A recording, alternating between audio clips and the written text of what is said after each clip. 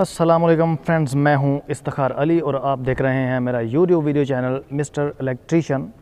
तो दोस्तों, आज की वीडियो में मैं आपको बताऊँगा कि आपने एक ट्रंकी का ऑफसेट किस तरह डालना है, लेकिन जितनी आप उसकी एंगल बनाना चाहें, आप वो बना सकते हैं। मैं पहले वीडियो बना चुका हूँ 45 डिग्री एंगल पे और 22 डिग्री एंगल पे। तो मेरे कुछ दोस्तों ने कहा था कि आप अगर इससे कम या ज़्यादा एंगल पे ऑफसेट बनाना चाहें तो किस तरह बनाएँगे? तो आज मैं आपको एक देसी टाइप का जो है ना वो तरीका बताने लगा हूँ कि आप इस तरीके से किसी भी ट्रंकी को या ट्रे को ऑफसेट डाल सकते हैं, लेकिन अपनी मर्ज़ी के मुताबिक आप उसका एंगल रख सकते हैं, उसको आप छोटा या बड़ा कर सकते हैं। तो अगर मेरी वीडियो किसी के पास 45 डिग्री की या 22 डिग्री की नहीं है तो उसका लिंक मैं इस वीडियो के डिस्क्रिप्शन में दे दूँगा। आप उसको देख सकते हैं। वो बिल्कुल एक एक्यूरेट फार्मूले के मुताबिक मैंने बनाई हुई है। तो इसमें मैं कोई फार्मूला नहीं बताऊँगा। इसमें मैं आपको सिर्फ़ एक जो कह लें कि देसी सा तरीका है। बहुत से लोग ऐसे भी बनाते हैं। तो उस तरीके के मुताबिक आप जो है ना, वो ट्रंकी बना सकते हैं। वो मैं आपको बता, बताता हूँ कि किस तरह आप बना सकते हैं। ये तरीका आप ट्रंकी पे, ट्रे पे, लेडर पे, किसी पे भी यूज़ कर सकते हैं अपनी मर्ज़ी के मुताबिक। तो अभी ये मेरे पास एक ट्रंकी है, ये छोटी सी मैंने रखी हुई है जस्ट आपको समझाने के लिए। तो इसको मैंने अभी ऑफ़ डालना है। अगर तो मैंने इसको डालना है 45 डिग्री पे 45 डिग्री पे इसको मैंने ऑफ़ करना है, इस तरह। ये मेरी ट्रंकी है और इसको मैं ऊपर लेके जाऊँगा ऐसे। तो ये जो एंगल होगा, ये 45 का होगा। तो इसको अगर मैंने 45 पे डालना है तो मेरी जो मार्किंग है, वो इसके अकॉर्डिंग होगी कि मेरी ट्रंकी की हाइट कितनी है। ये टू इंचज़ है और टू इंचज़ की जो हम मार्किंग करते हैं 45 डिग्री के लिए, वो होती है 20 एम एम या आप कह लें कि टू सेंटीमीटर अगर आपने एम mm में करना है तो 20 एम mm होगी और अगर आपने सेंटीमीटर्स में करना है तो two C M two centimetre होगी। तो अगर इस टू को मैं जो मेरी twenty M twenty M M जो मैंने मार्किंग करनी है, ऐसे, ये तीन मार्किंगें होगी, ये भी ट्वेंटी होगी और ये भी ट्वेंटी एम एम होगी। अगर मैंने फोर्टी फाइव डालनी है तो अगर उससे मैं कम या ज़्यादा करता हूँ तो मैं अपना बैंड किस तरह पूरा कर सकता हूँ? फॉर एग्ज़ाम्पल ये मैं ट्वेंटी नहीं रखता। मैं इसको फिफ्टीन एम एम करता हूँ, पंद्रह एम एम और ये भी जो है ना, मैं पंद्रह एम एम करता हूँ। इससे क्या होगा? जो मेरी टंकी का एंगल बनेगा, वो 45 डिग्री से कम होगा। ये तकरीबन 30-35 डिग्री एंगल पे बन जाएगा, अगर मैं इसकी 15 एम एम की पमाइश करता हूँ। तो चलिए मैं आपको बना के दिखाता हूँ कि आप किस तरह, अगर आप चाहें पंद्रह से कम भी रख सकते हैं, दस एम एम की मैं ऑलरेडी बना चुका हूँ, उससे कम भी आप रख सकते हैं, लेकिन आपने अपना बैंड किस तरह पूरा करना है, वो मैं आपको दिखाता हूँ। चलें हम इसकी मार्किंग करते हैं, मैं आपको दिखाता हूँ पंद्रह एम एम की, और आपने सिर्फ़ मेथड को फॉलो करना है, इस मेथड से आप पंद्रह की मार्किंग कर लें फिफ्टीन की मार्किंग कर लें या आप कह लें कि ट्वेंटी की ट्वेंटी तो पहले ही बने हुआ है एटीन की कर हैं सिक्सटीन की कर लें जो है ना वो दस से कम की कर लें नाइन की एट की जितनी आप चाहें आप कर सकते हैं। तो मैं आज आपको सिर्फ़ ये बताऊँगा कि पंद्रह की अगर मैंने मार्किंग करनी है तो मैं किस तरह ये मैं अपनी मर्ज़ी से रख लेता हूँ। ये ओके ये मेरा एक साइड पे जो है ना मैंने आ, अपनी जगह रखी यहाँ से मैं इसकी मार्किंग स्टार्ट करता हूँ और पंद्रह एम एम।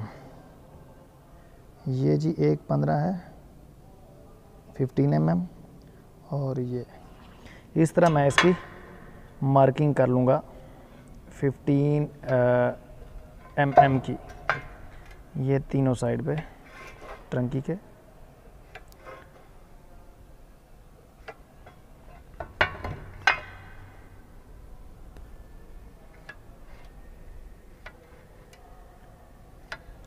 ओके अभी ये तीनों साइड पे मेरी हो गई मार्किंग तो अभी मैंने इसको चूँकि ऊपर उठाना है, ऊपर लेके जाना है ऐसे तो मैं इसकी जो वी की शेप है वो ऊपर की तरफ़ इस तरह बनाऊँगा जिस तरह मैं पहली वीडियो में आपको बता चुका हूँ।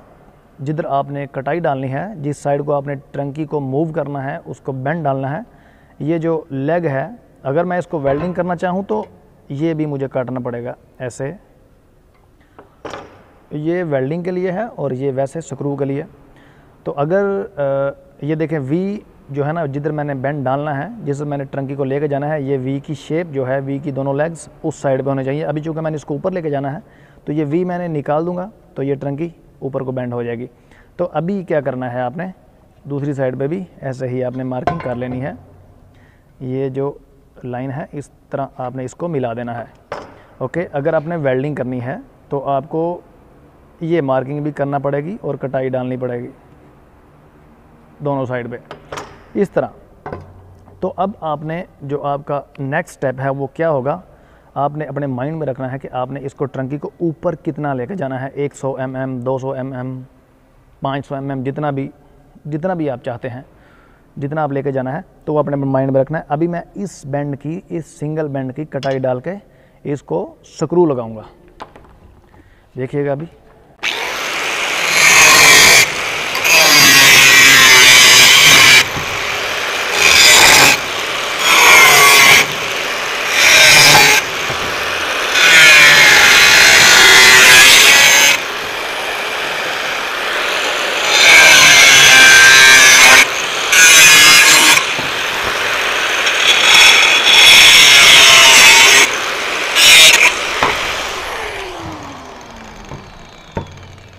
ओके फ्रेंड्स ये मैंने एक एक बैंड एक मार्किंग को मैंने आ, मार्किंग करके कटाई डाल दी। तो आप आपने नेक्स्ट स्टेप क्या करना है इसको आप स्क्रू लगा लें। इसको अच्छी तरह आ, इसकी सफ़ाई करके इस तरह आप इसको बेंड करें। और यहाँ पे आप इसको लगा लें स्क्रू पहले ये बैंड अपना कंप्लीट करें। ओके फ्रेंड्स ये मैंने इसको एक साइड पे स्क्रू लगा लिया। ये आपको नज़र आ रहा होगा। तो ये मेरा एक बैंड बन गया है। एक बैंड बन गया। अभी आपने नेक्स्ट स्टेप क्या करना है, जो कि बहुत ही इम्पोर्टेंट है। आपने कितना उठाना है, ट्रंकी को कितना ऊपर लेके जाना है, कितनी आपको चाहिए, वो आपने अभी अपने माइंड में रखना है। तो आपने क्या करना है, इसको ऐसे आराम से ज़मीन के साथ या किसी भी सीधी जगह पर रखें और आप एक लें अपनी ये टेप पमाइश करने के लिए। इसको आप ऐसे भी कर सकते हैं या इसके साथ कोई चीज़ लगा के आप कर सकते हैं। ये देखें, ये मैं एक लगाता हूँ। ये मेरे पास एक ट्रंकी है तो मैं इस ट्रंकी को ऐसे रख लेता हूँ, अगर आपको नज़र आ रहा होगा तो। सीधा रख लेता हूँ। अभी मुझे कितना इसको ऊपर उठाना है? 100 सौ mm उठाना है 200 सौ mm उठाना है 300 सौ mm उठाना है। तो वो आपने इस तरह करना है। अपनी ये टेप लें और टेप से आप इस तरह इसको सीधा करें। ये देखें, अगर तो आपने 100 एम उठाना है तो यहाँ पे मार्किंग कर लें। कितना उठाना है? मैं कहता हूँ जी, मैंने 200 सौ mm इसको ऊपर उठाना है। ये देखें, ये 200 सौ mm यहाँ पे आता है। तो मैं क्या करूँगा? ईज़िली इसको यहाँ पे मार्किंग कर दूँगा, ऐसे। ओके जी? ये मैंने मार्किंग कर दी। यहाँ पे मेरा बैंड आ रहा है 200 सौ mm पे। ओके ये एक मैंने मार्किंग कर दी 200 सौ mm पे। अब आपने क्या करना है? अपने एल स्केल की मदद से यहाँ पे इसको मार्किंग कर लेनी है और ये ख्याल करना है, ये आपकी पहली मार्किंग होगी। आगे वाली दो मार्किंगें आपने, दो लाइनें आगे लगानी हैं। एक ये पंद्रह और एक ये पंद्रह फिफ्टीन की। जितना आपने पीछे मार्किंग की थी, जितनी, उतनी ही आपने आगे कर देनी है। इस तरह। कि जी, ये मुझे बड़ी लग रही है। ठीक है? सेम ये एक देसी टाइप का तरीका है, आप इस इस तरीका को यूज़ करके आप किसी भी ट्रंकी या ट्रे को कितने भी डिग्री एंगल पे आप बैंड डाल सकते हैं। मुश्किल नहीं है इस तरह। अभी अभी क्या करना है इसको क्योंकि मैंने अभी देखें, नीचे की तरफ़ लेके जाना है। अभी ये ऊपर जा रही, इसको मैंने नीचे की तरफ़ लेके जाना है तो मेरी वी की जो शेप है, वो नीचे की तरफ़ बनेगी ऐसे। ओके जी, ये देखें वी की शेप नीचे। अगर आपने वेल्डिंग करनी है तो आप इसको, आपने ये भी कटाई डालनी है। सेम उसी तरह आप कर लें। इधर इस साइड पे भी। वी आपने नीचे की तरफ़ लेके जानी है। ओके जी? इस तरह। तो आपने कटाई का डालनी है। ये वाली आपने कटाई कर देनी है। दोनों साइडों पे ऐसे ऐसे यहाँ पे आएगी और ये किनारा आपने नहीं काटना, ये ख्याल करना है। अगर आपने ये किनारा काट दिया तो आपका बैंड जो है ना वो ज़ाया हो जाएगा। अभी मैं आपको कटाई डाल के दिखाता हूँ।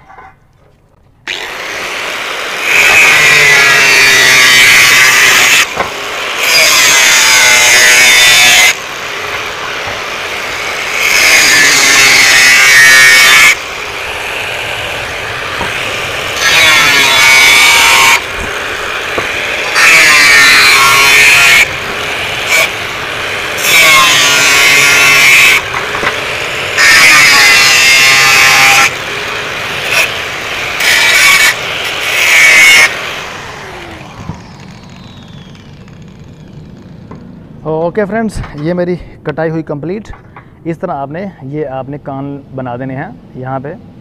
तो उसके बाद आपने क्या करना है इसको अंदर की तरफ़ बेंड करें ऐसे और इन दोनों को भी अंदर की तरफ़ बेंड करें। अपना बेंड डालें ये इस तरह इस तरह। आपने कोई हैमर की मदद से अच्छा से। ओके हाँ, फ्रेंड ये देखें। अभी मैंने इसको बेंड डाल दिया और अच्छा से ये मेरा ऑफ़ सेट कंप्लीट हो गया। अब मैं आपको दिखाता हूँ क्या ये पूरा भी है या नहीं है? क्या इसको यहाँ पे रख के भी इजीली पेमाइश कर सकते हैं। ये देखें 200 सौ mm यहाँ पे भी 200 सौ mm तो इस तरह आप किसी भी ट्रंकी को, किसी भी ट्रे को आप बैंड डाल सकते हैं लॉन्ग डिस्टेंस पे शॉर्ट डिस्टेंस पे। आप यहाँ पे जो मार्किंग है उसको कम या ज़्यादा कर सकते हैं। फॉर एग्ज़ाम्पल आप 20 एम mm नहीं रखना चाहते, आप 20 से कम रखना चाहते हैं तो आप इसको कम कर सकते हैं और इस तरीके से आप अपनी ट्रंकी को या ट्रे को या लेडर को ऑफसेट डाल सकते हैं। आई होप कि आपको मेरी वीडियो की समझ आई होगी। अगर किसी दोस्त को मेरी वीडियो की समझ नहीं आई तो कमेंट्स करके मुझे ज़रूर बताइएगा। मैं इंशाल्लाह नेक्स्ट वीडियो में आपको समझाने की पूरी कोशिश करूँगा।